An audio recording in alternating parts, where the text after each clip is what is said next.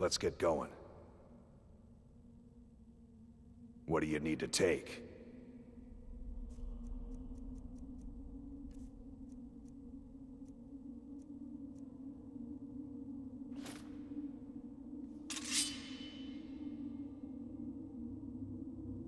Lead on, then.